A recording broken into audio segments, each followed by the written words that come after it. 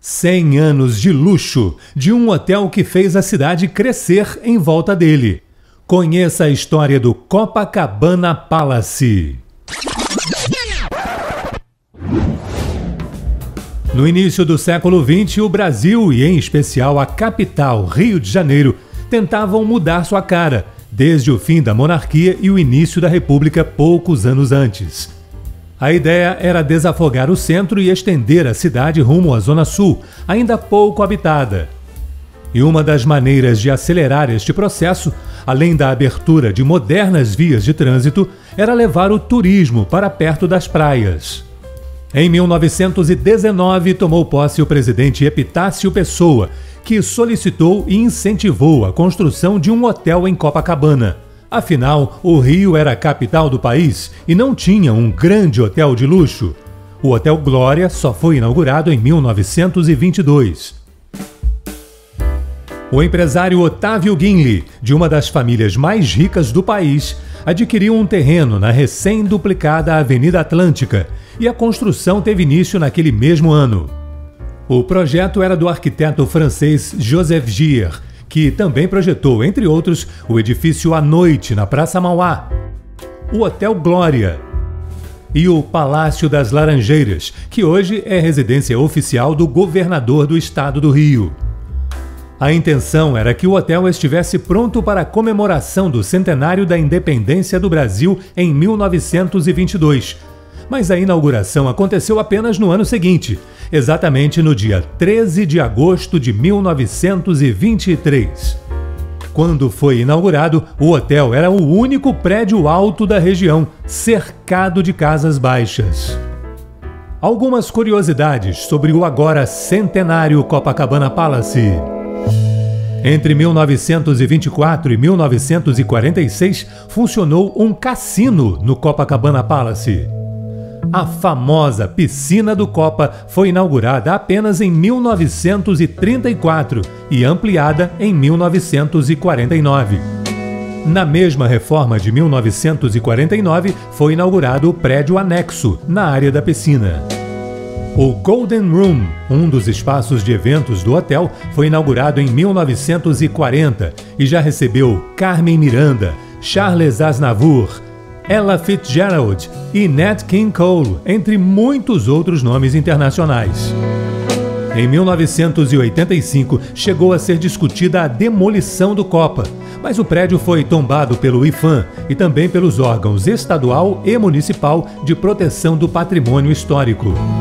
Em 1989, a família Ginley vendeu o hotel para o grupo Orient Express Hotels, que depois mudou o nome para Belmont.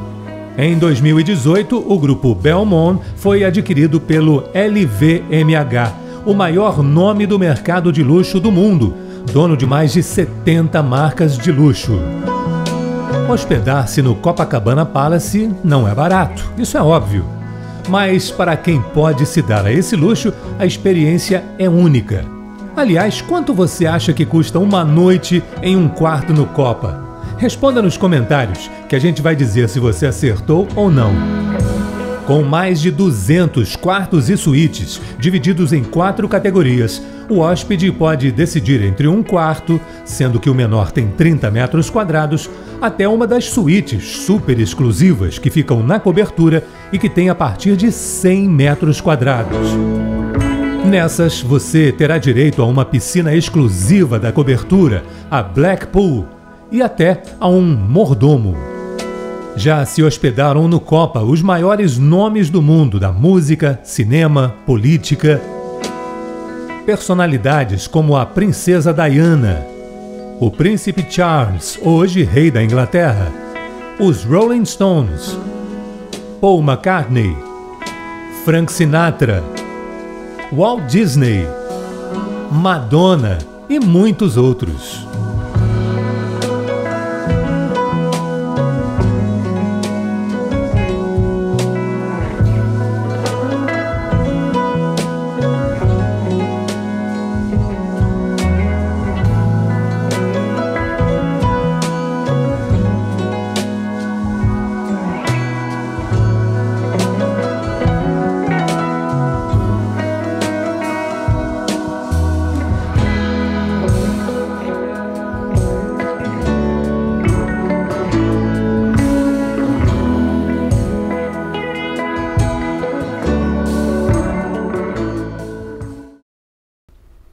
Você, se pudesse, se hospedaria no Copacabana Palace?